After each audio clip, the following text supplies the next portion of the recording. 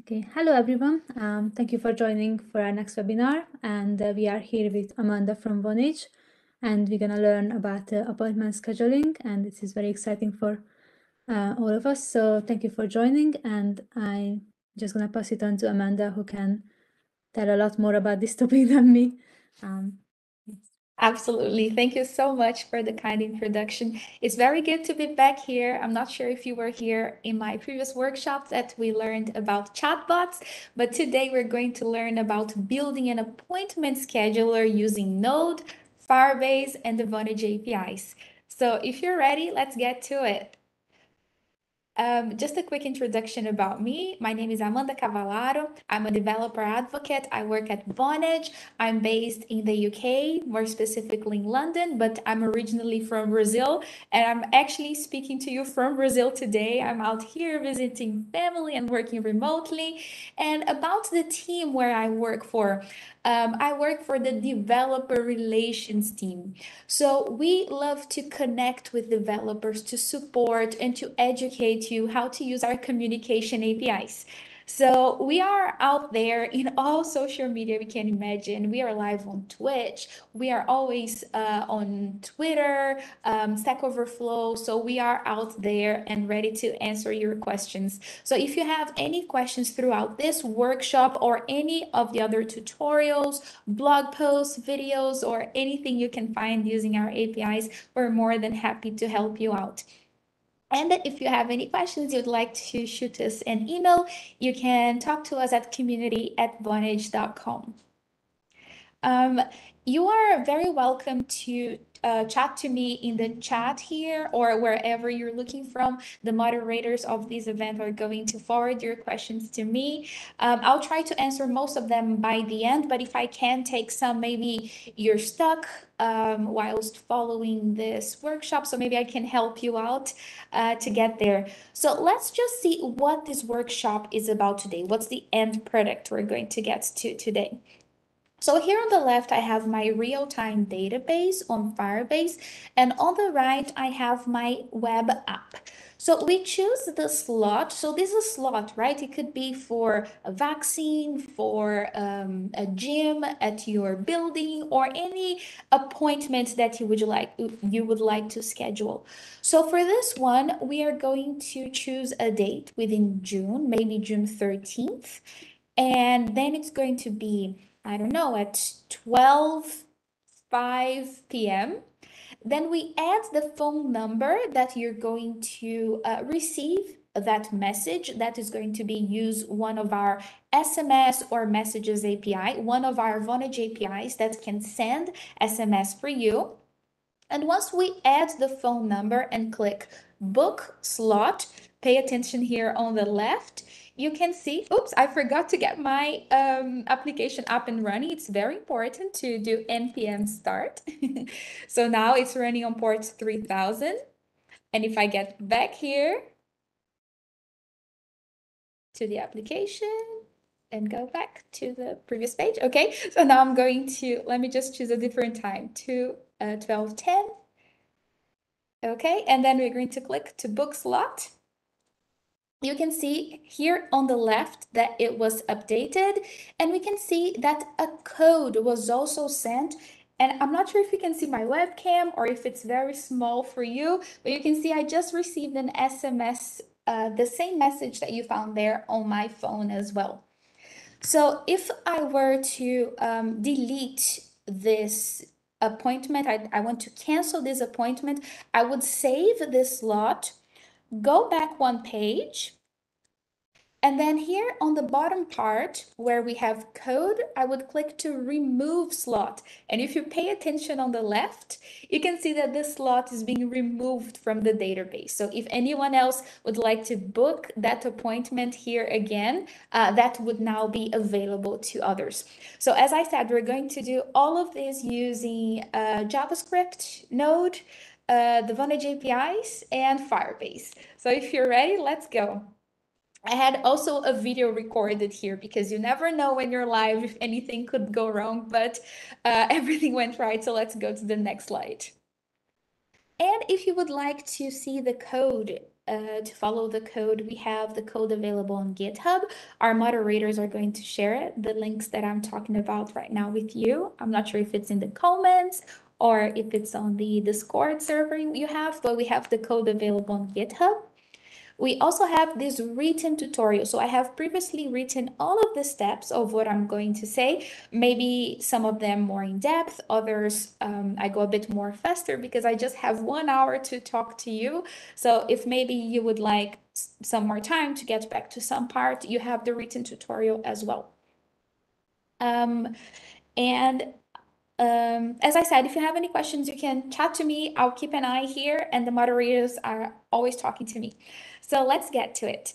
Uh, I'm not sure if you ever used Firebase before. Let me know in the comments if you have ever used it before, if you have ever built any projects or anything. So Firebase is a backend as a service mobile and web application development platform. It provides you with hosted backend services, such as a real-time database that we're using today, cloud storage, authentication, crash reporting, remote configuration, and hosting for static files. Um, it uses the serverless programming. That means that we only pay for what we, we use, and there is no need to fix, to stick to a fixed bandwidth plan, regardless of how many resources we use. So let's get started with setting up Firebase.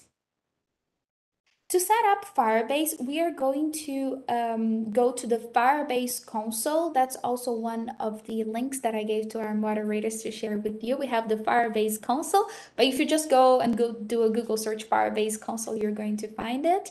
Um, and then in there, you click to create a new project. And if you don't have an account, you haven't used it before, um, you can create an account using your Google account or any other accounts that you have available. Um, and once you are logged in and authenticated, you can click to create a new project, click to continue, choose if you're going to use analytics or not. I will not use uh, in this tutorial. Then you wait for the project to be created. And then maybe this part I could show on the Firebase console, so it's a bit more visual. So here I'm on the real-time database. If I click here on the left, I choose the project that we're going to use. So I just created this project, for example. Then I go to project overview, project settings. Here we can find all of the settings that we have. Then I have usage and billing. And for this project, we're going to use, um, let me see if I can find here. It's a bit small. Okay. So for this one, we're going to use um, Blaze. And it has to be linked to a billing account. Um, you can see that I have been using this project for quite some time now. There's no cost involved. Um, it's just the tier that we're going to use is the pay as you go. I just clicked here so you can see there is one that which is Spark, which uh, there are no costs involved, and this one is pay as you go. And at any time you can change uh, these, and don't worry about that. Also, uh, if you're, I don't know if the cloud somehow makes you feel nervous or anything, as soon as we finish this project, you can always shut it down. So don't worry, there's not going to be any costs involved. So you choose the usage and billing uh, for your project. Um, and then you set the Google Cloud resource location in the project settings. For me, it's not going to show because I already created this, but one of the steps that you have when you're creating is to choose where your data is going to live. So make sure you choose that as well. Okay, so that's about setting up Firebase from the console from, for creating the project, all the resources, all the cloud resources we're going to use. And then from the terminal on your computer, I'm not sure which terminal you use, if it's the terminal that comes with your computer or term, there's another one, hash something. So whichever one that you use, you're going to open that to install Firebase. So we start by installing the Firebase tools by doing npm or yarn, not sure which one you're using. Uh, and then we install the Firebase tools, and then you have the process to log into Firebase. You do you write the command Firebase login, and what that does is it's going to open a separate window, just like when you're using OAuth uh, authentication to log in. So it's going to ask you to um, authenticate that's you. And once that page is complete, everything is authenticated in there. From your console, you're going to be authenticated and now you can use Firebase in there. And I'm not sure if you're using ZSH, but sometimes there is a problem even though you installed it. And I've seen that problem a couple of times. I use a MacBook, so I just wanted to add a quick slide on this. If anything happens, you can run an alias from your terminal, and there is also this great Stack Overflow um, answer that explains that to you. But not everyone runs through that error, so I just wanted to quickly add this one for the ones that do, for, for the ones who do. Okay, so let's understand what we're going to use. We're going to use the Firebase real-time database. As you could see in the very beginning of this uh, workshop, when I, where I was showing you the solution we're going to build today, you could see that the moment that I clicked to book a slot, it would update in real time. And the moment that I was uh, removing the slot, it would also update in real time. Therefore, the name real-time database. So it makes it possible for us to store and sync data between the users, as the name says, real time. So people can access their data via the web or mobile, and it helps the user collaboration. Whenever we update data in the real-time database, the data is stored in the cloud and it notifies all the interested devices. And the first thing that we're going to do is to import the database JSON file we're going to use for this workshop. There is one example that I added um, to GitHub. Uh, I think I called it myappointments.json, but I also have an example here. So what you would do is you uh, go on your computer and you create a file with the name of the uh, database that you're going to use. In my case, I gave it the name of my appointments. Then we're going to create the first part, which is the date of the appointment and the user ID that contains that code that is going to be used in case we would like to delete it. So I just started it with three um, appointments that I created. They are just created by me for this appointment booker that I'm creating. Um, as you can see, some of them are in the past, so maybe we could add some of them for June or July. Um, and then as soon as you're happy with this, you would save this file somewhere in your computer. Then I'm changing here the page to go back to the Firebase console. Uh, I'm going to click on my real-time database. And in my example here, I already imported it. But if you would like to import it from your computer, so you just created that file, you click here, import JSON, and then you're going to see uh, one of these upload upload pages that open for you. You click to import and everything is going to be imported here and it's going to show up just like this one that you're seeing here. So that's how we're going to have the initial slots and also the ones that we're going to add and remove. So that was our very first step and it should look something like that. And then we add the database rules. These rules, they determine who can access your database, how the indexes are built, and how your data is structured. So from, if I go back here, from the uh, real-time database, you can see there is a second tab here on the top called rules. So you'll be you'll be taken to a screen that allows you to edit your rules. So um, you can see here that I have the read and write information. Uh, I also have where my appointment scheduler is indexed. It's indexed on the date index that we have. And once I'm happy with all of this, I click to publish. Um, I think because the page is a bit smaller, we can see it. But once you're happy with this, you click to publish. Mine are already here. You can also click to monitor the rules. Basically, this is everything that you have about the rules. Okay, now let's get back to the presentation and it's time to set up. So what you could do here is to uh, git clone. Uh, I'm not sure if you know how to use git, but you could git clone the project from GitHub so you could either go to the um, to determine and do git clone and the URL of the of the project that I gave you, or you could download it as a zip file. It's also one of the options that you have on the dropdown. Or you could create an account on your, sorry, not an account, you could create a folder on your own machine and then follow all the steps. So we would do something like create a folder on your computer, change the directory to that folder. Then we would, I'm just going to switch here the screen um, to the yeah, you can see that to the IDE. So what we would do is do an npm init. This command prompts you to add information about the project. Then after that, we would install the dependencies that we're going to use for this project. Let me just have my package JSON here. So I have the dependencies that we use here. So I would do something along the lines of npm install or npm i and then I would add all of these dependencies that you can see there. So I have the Vonage Server SDK, dot, dot env, uh, UUID, Express, Firebase admin, and Firebase functions. So these are the dependencies that we're going to use.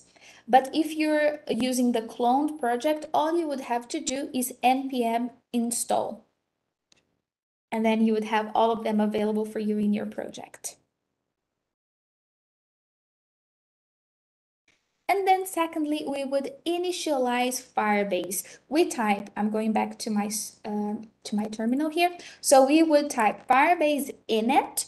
And since we already created this project before in the dashboard, if I do Firebase init, you can click to use an existing project, which is going to prompt you to choose which of the projects that you created and something interested, interesting to know is that you have the name of the project and you have the project ID. So you see the name of the project first and then the project ID in parentheses.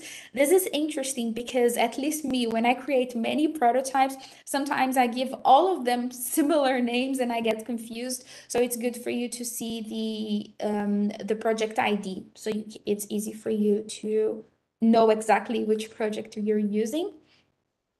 Um, and then let's get to the HTML part. So we have the Firebase part both now installed in your um, Node application, and you also have it created on the cloud. So the Firebase part is set.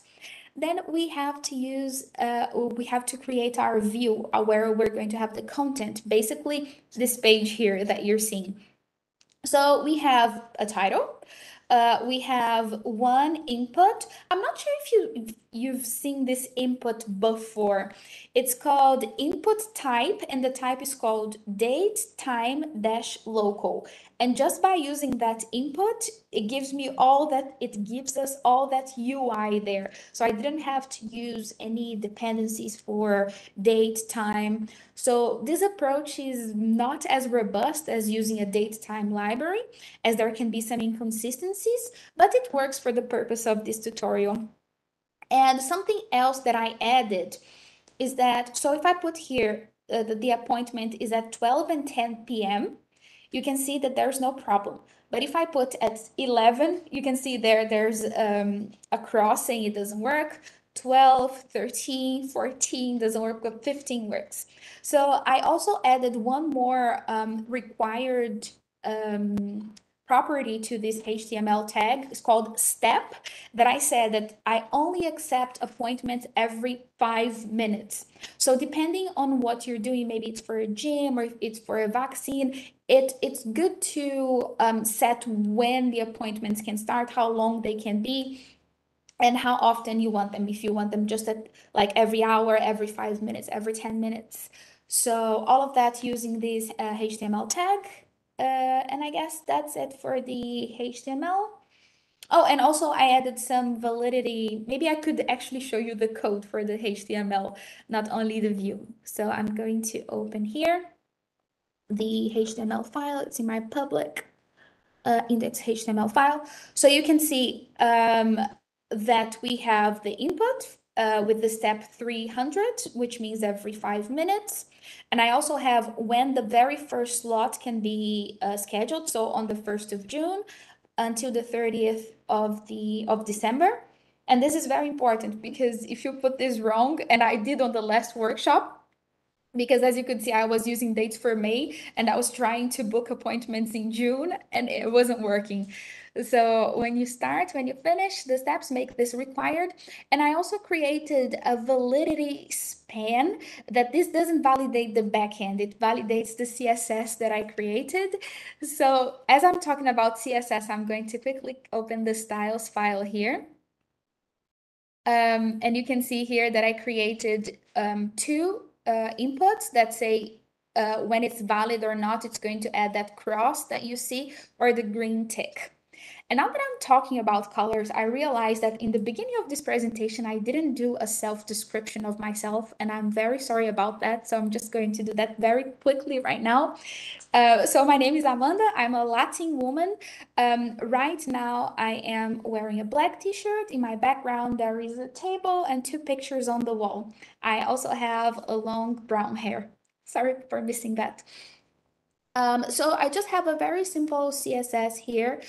Um, I didn't want to make something too like shiny too beautiful. It was just to show you as simple as i could how to create an appointment scheduler but then with the foundation that you get from this workshop you can go and do something more robust more incredible for uh, your users whoever they are if this is only for um, a project that you're learning or for an actual product that you would like to use with your customers. So that's for the html and that's how it looks. Um, and then, as I said, I also went uh, through the CSS very quickly. So for this demonstration web app, uh, we'll add some styling to center the content on the page and also display a, a red cross in case the input is invalid and a green tick in case it's valid. And all of this is living in a folder, a public folder, styles and a styles.css file.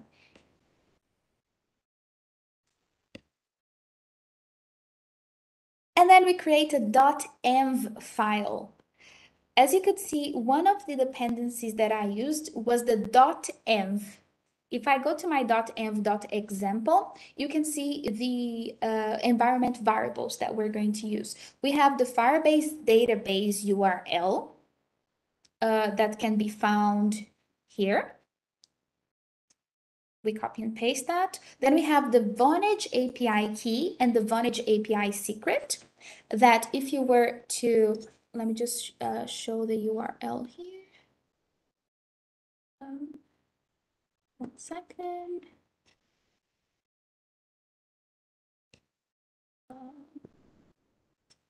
Um, there's this little thing from this tool that's right in front of where I want to click. Um, one second. How can I open my top tab? Anyway, there's this website called dashboard.nexmo.com. Uh, if I can just move this little thing, I can show you. Um, okay, it's a bit hard for me to open a page here. Um, let me just remove this from side by side. Sorry about that. I'll just remove this from side by side. So I can show you. Yes, I got it. So we have the Vonage API dashboard. This is how it should look like. Uh, and then in here, we have the Vonage API key that I can copy and paste it there. And I have also the Vonage API secret. We're going to need those to use the Vonage APIs to send SMS messages, uh, the ones that I showed you on my phone. So these are the Vonage API key, the Vonage API secret, uh, the number that you're going to send the number from. So you know when you receive, let me see if I still have the message here that I received on my phone. When you receive the message on your phone and then it says like who it's from, the number uh, it's from. So it would be from this number that you add here. And sometimes when you receive messages, it doesn't just say the phone number. Sometimes it's a business. So you could also add uh, uh, characters here. Depending on the country uh, where you are, there are some regulations that you cannot add just characters. You have to add a phone number here. I believe the US is one of these countries and some others. Um, but in the UK, for instance, we could just add Vonage as the Vonage from number. And then the Vonage to number is the number that's going to receive that slot. So probably that's your own phone number because you book a slot in your own phone number and you receive that. Um, and then um, for the purpose of this workshop, because we are sending this from uh, a phone number that we created, we could also um, go here in the Vonage dashboard. And on the left, there is numbers. You could purchase a number. Uh, and then you could use this virtual number uh, to be the one sending the messages for you, uh, to you. So this is how the .env uh, .env file looks like. I created a .env.example, but then what you do is you copy and paste it to a .env and add your actual uh, keys because I have my own keys. I'm not going to open that file for you, but this is it. This has everything that you would need. So that's uh, what we have for our .env file. Um, yeah, so I guess I went through all of them and where you can find them. And then you set up the Vonage account. Let me show you how to do that. So you would go to this website called dashboard.nexmo.com slash sign up. I also shared that with our moderators here if they'd like to share. Um, so dashboard.nexmo.com slash sign up. Then you can create your free account. And for the workshop today, the people who are watching, I know that this video is also going to be available uh, for posterity, but uh, it's just available, I guess, today and maybe in the next few days for uh, the people following this workshop live. We're giving away a coupon of 10 euros for you to use our APIs, not only for this workshop, but if you'd like to try the other APIs, maybe with verified two factor authentication video, um, excuse me, the video is actually another platform. So if you'd like to send messages, to try a chatbot with calls, you can use that code for that as well. So the way it would work is we, you, we have here this code. We would copy and paste, uh, also added to the to, with our moderators. So you would go to the dashboard. And then in the quick links, we have billing, coupons. You would add that uh, number there, that, uh, sorry, the series of characters, that string, so 22, H, S, A, K, A, Z, and then you click to submit. And then on the left, you can see that your balance is going to go up because now you have more credits to try our API. So whatever you do here, sending messages, receiving messages, it's all going to be free because you have these free credits. So that's exciting. And then let's get to the application logic.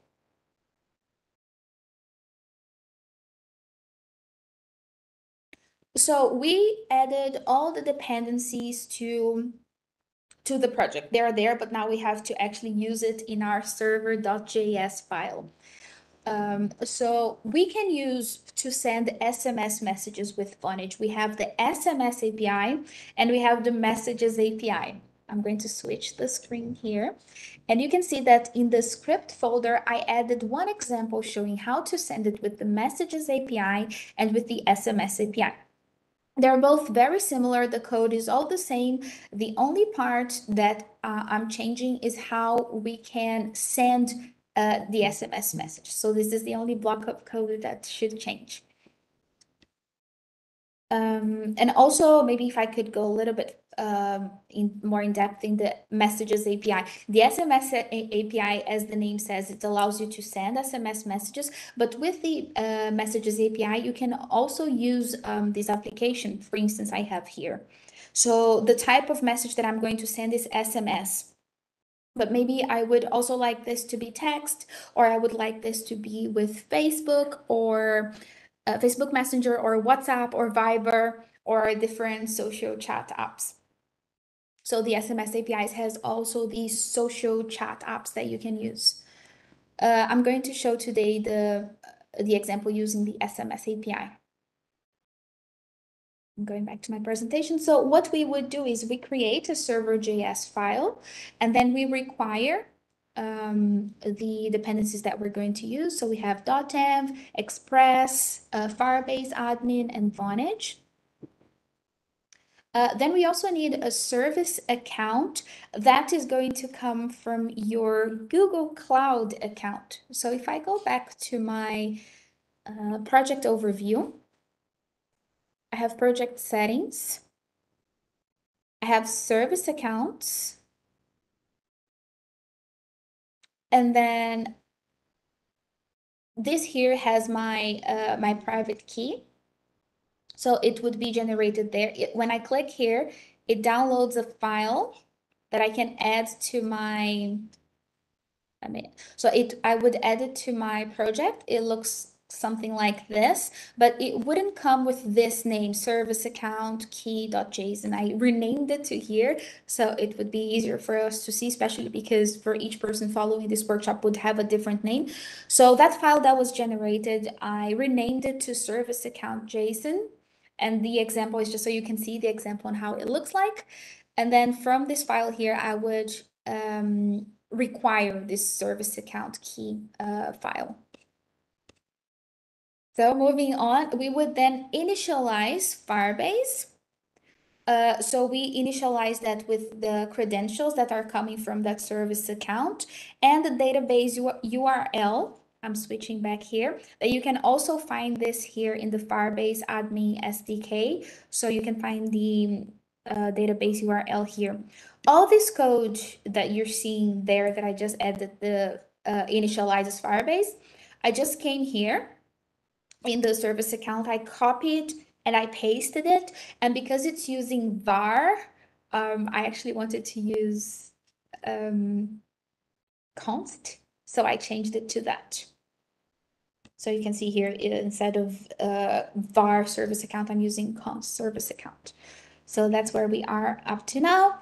And then we have uh, the reference to the database that we're using.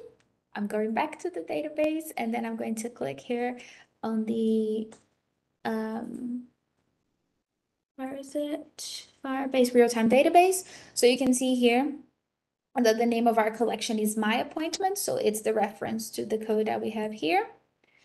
Uh, so yeah, here's the name that we have there. If you gave it another name, you would have to change it here. And then we have the code to send the SMS message with the with the Vonage API. It gets the API key and the API secret that you added to your um, .env file.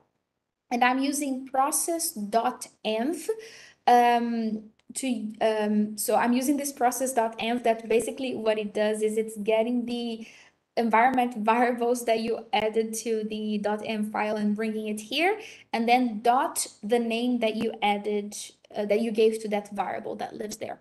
So we have the Vonage API key and the Vonage API secret. Excuse me, I went to the next slide by mistake. And then we're saying that the static files are going to live in a public folder. I'm going to switch to my IDE. So you can see that I have a public folder containing my static files. I have a I never know how to say this word if it's favicon or favicon. Help me out in the comment. So I have um, this icon that you can see at the top of the page, the style CSS and the HTML file. Um, going back here. And then uh, we're going to use express.json, express URL encoded. Um, and then we're going to get started with the um, get date time. If I go back here to the code, uh, uh, maybe if I can show you the example that we have in my appointments. If you see here, let me just make this a little bit bigger. You can see that when we're saving the date using that HTML property, it gets the year, month, day, and then there is a T, and then it has the time. So what we're going to start doing here is we're going to create a function called get that date time, and then we're going to uh, get the slot that splits into that t. And from that slot, we're going to get the date and the time. So that's what that, fun that function is doing. And then we're going to um, create this app.post to create the appointment in which we're getting the phone number from the input, we're getting the slot, uh, and as I said, we're getting the date and the time from that slot using that function that we created. And in the next slides, I'm going to show you how we're going to check if that slot is available. So maybe that slot is already taken, someone else took it, uh, how we add that information to the database, how we send the information to the user. So all of that is in the appointment, the create appointment. And then I'm going to show you another piece of code, which is to cancel the appointment. So let's talk about the check slot availability. This function validates if a slot is available by checking if the slot already exists in the database. Let me go into the code here. Um, let me catch the first one. So check if available. Let me just make this a bit smaller. Okay, so check if available. So we are querying the ref.order by child date so the queries are allowed to order one key at a time. We have previously defined our index via the index on on the Firebase rules for better performance. And then we make use of the dot once value to listen for exactly one event of the value. And then we stop listening. So that's what we're doing here on line 39. Um, and then if that slot is available, we're going to loop through um, all the information that we have there in our Firebase um, database, Firebase real-time database, everything rhymes. And um, if that slot is not there, we're going to make it available. Okay, so it's available. So that's what this function is. It's checking if it's available. Uh, then we have the following uh, piece of code that is add the appointment to the database. Now that we check that it's available, let's actually add it uh, to the database. So we have add to the database. You can see that it's using UUID v4.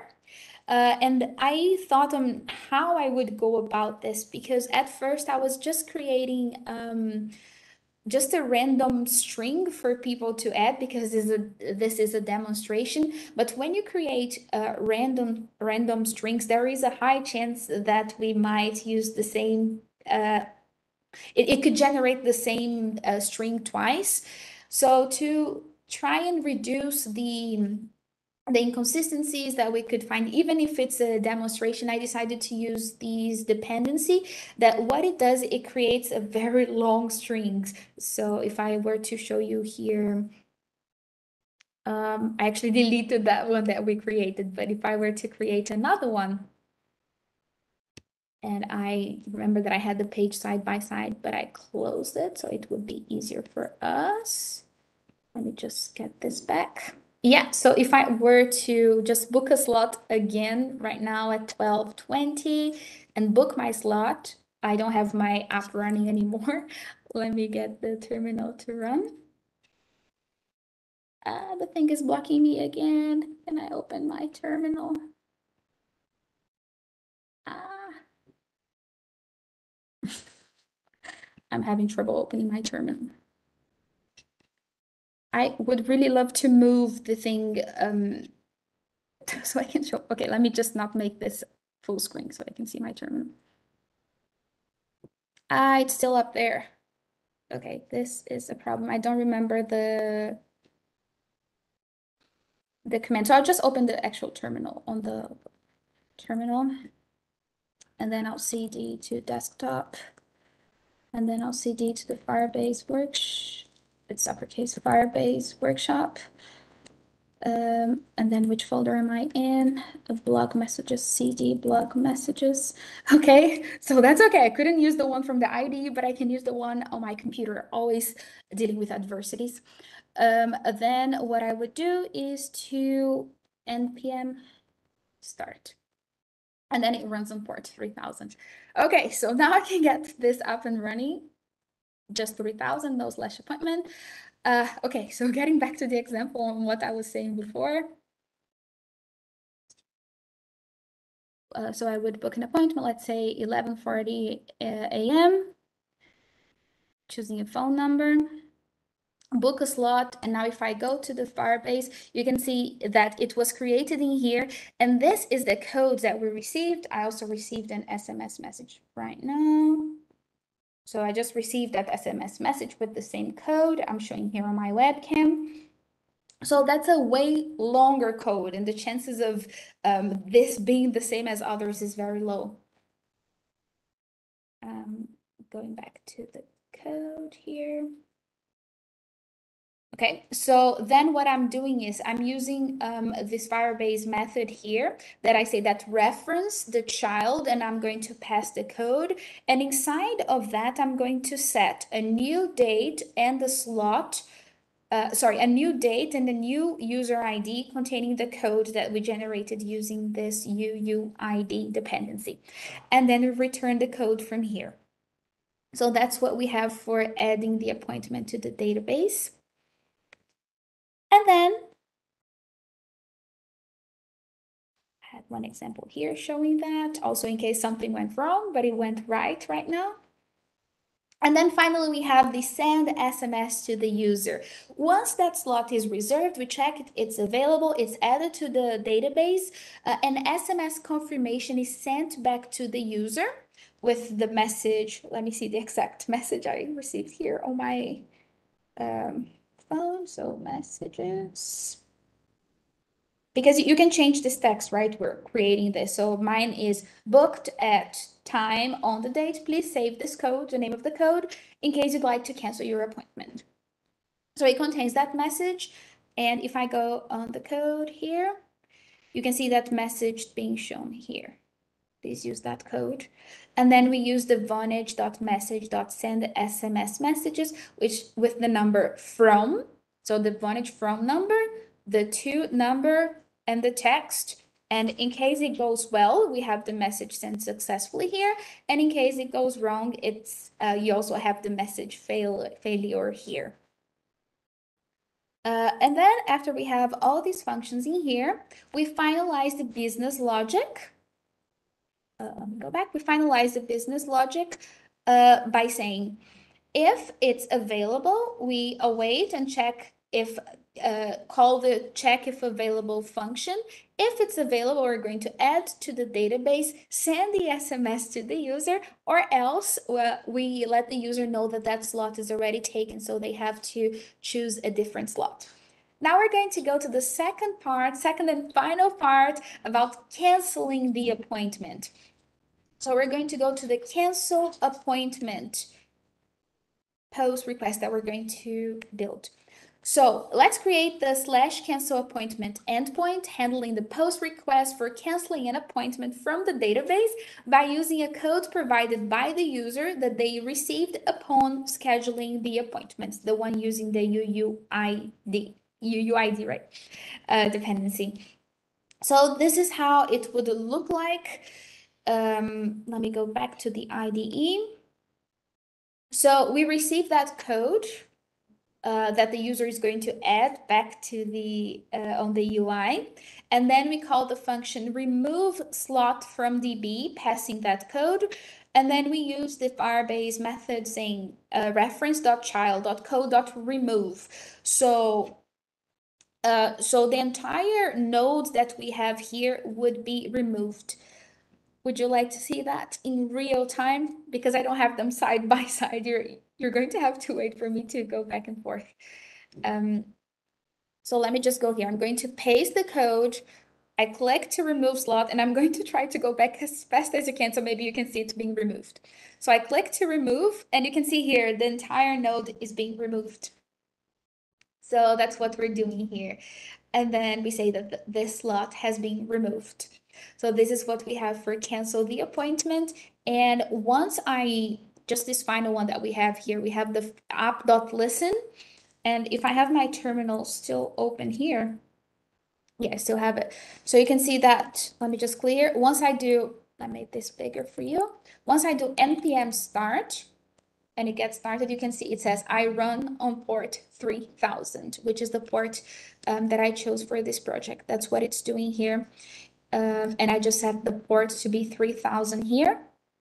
And on my package.json, um, I let the this project to know that uh, once I do npm start, it's going to start the script from server, uh, from the file script slash server SMS API. So depending on the name that you're using, maybe you're trying the SMS API or the messages API, it's going to be a bit different there.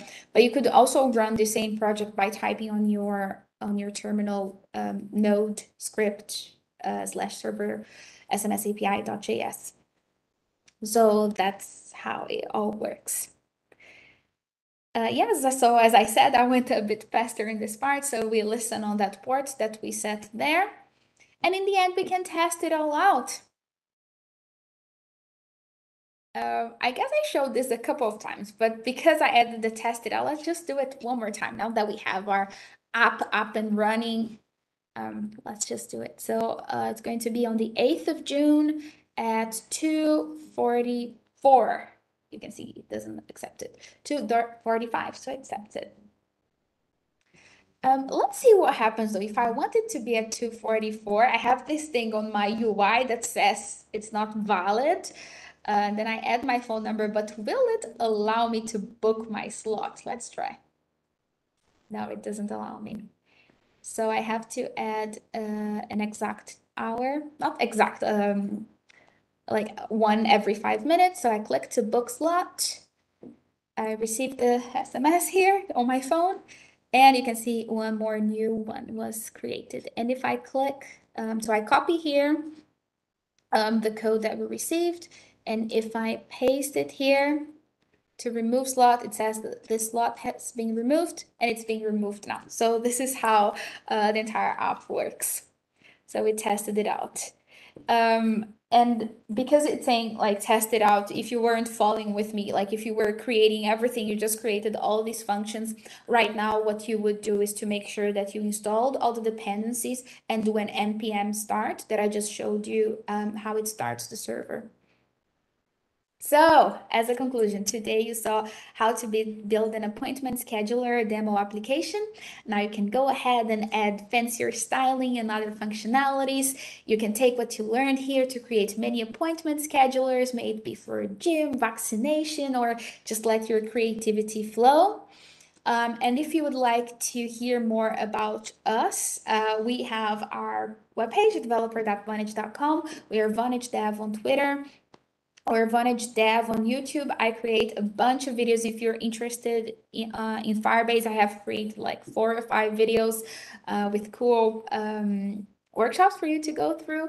We also have, we are on Twitch as Vonage Devs. Uh, we have our blog post that actually is not learn.vonage.com anymore. We changed, if you try to access it, it still redirects, but now it's developer.vonage.com slash blog. We're also on LinkedIn and if you'd like to connect with me, I shared with the moderators my contact. Uh, so I'm on LinkedIn as Amanda Cavallaro, uh, Twitter, AMD Cavallaro, double L. And I also have my blog posts at developer.vonage.com slash blog slash author slash Amanda Cavallaro. Uh, and just to remember, if, if I went too fast in that slide showing the coupon, if you would like to add that coupon, you just copy here you go back to the, do I still have it open? Probably not, to the dashboard. And then you click to redeem it. I also shared with the moderators um, a blog post on how to apply the Vonage coupon code. Um, so it's easier for you um, to visually see how to do because there are some more steps or others than the one that I showed it very quickly here. And um, I'm going to be here. I have access to the Discord server of this event, so I'm going to be uh, hanging out there to answer some of the questions. Uh, I'm not sure if the moderators have some questions for me as well. I finished my presentation some minutes earlier, so I can cater for questions. But if you'd like to ask them elsewhere or after this workshop, uh, just make sure you reach out to me. And thank you very much for your time and for all the uh, team at Show Code Opinion for having me today. Thank you so much for the great webinar. And uh, if anyone has any questions, just uh, let us know in the YouTube comments or just send us a message, message on Discord. We are always there and um, you can watch this back on YouTube in a few hours. And we have all the links in the comments so you can check out all the information if you missed a bit. Um, and thank you so much again for the great webinar, Amanda. Um, thank you and so hopefully much. see you soon on the Discord as well. Yes, I'll be there. Thank you. Um, see you, see you soon, everyone. Bye. Bye bye.